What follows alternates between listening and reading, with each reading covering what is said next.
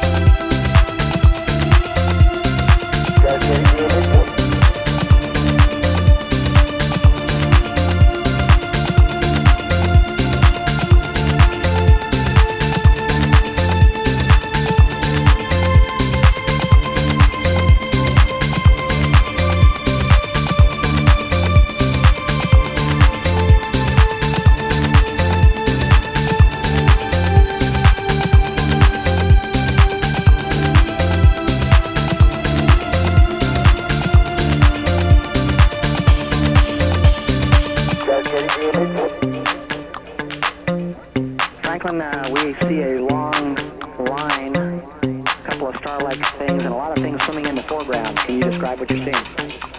Well, the long line is, uh, is a tether. Uh,